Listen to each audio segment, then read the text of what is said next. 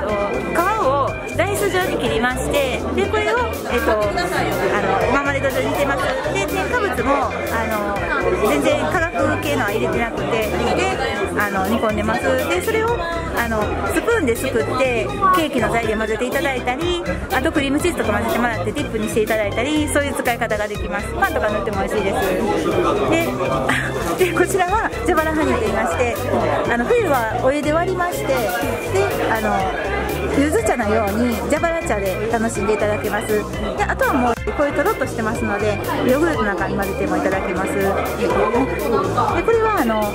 えーと、ジュレタイプなんですが、えーと、これは寒天と砂糖だけで、えーと、固めてましてで凍らしたりあと冷やして飲んでいただけますのでお風呂上がりとかにおすすめです。こちらが、えー、とうちの商品のあの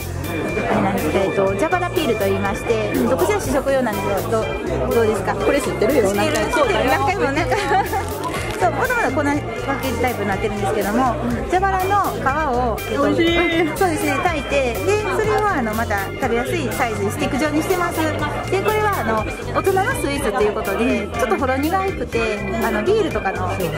オッケーね次あのこれがああの蛇腹の可否粉末と言いまして蛇腹の可否の部分をあのもう本当に昆布茶ぐらいのあの細かい粉にしてます。こんな色の粉です。でこれを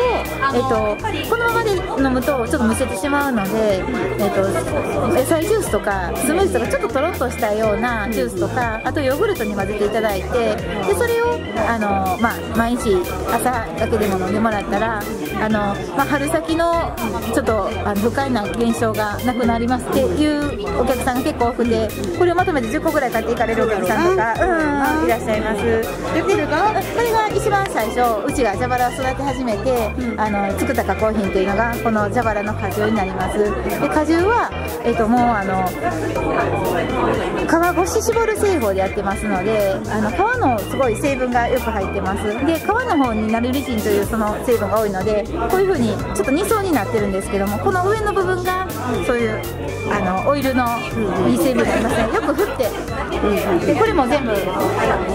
こに溜まってますのでよく振ってお召し上がりください。で調味料としても使っていただけますけれどもあのサイダーで割ったりあと大人の方だったらチューハイとかジンとかそういうので割っていただいたり。あとお湯で朝はあの温かいお湯左右にちょっとこれ垂らしていただけたら今レモン左右っていうのが多分流行ってると思うんですけど蛇腹左右っていうのでそれもすごい朝すっきり一日過ごすことできてきますのでまた一度お試しいただいたらと思います。左右はやってるでそうそうそう痩せへんけどあの私は。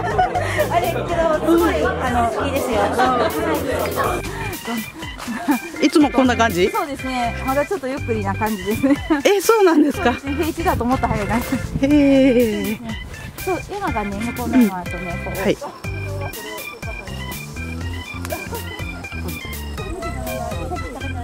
え匂いすんの？香りいいかな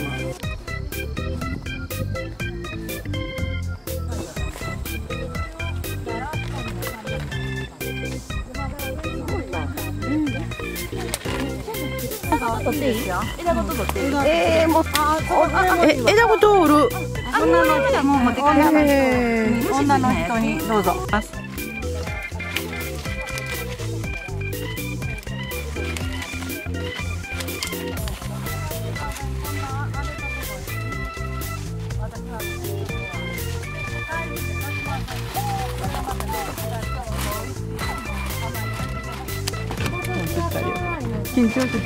ええ 世界に発信。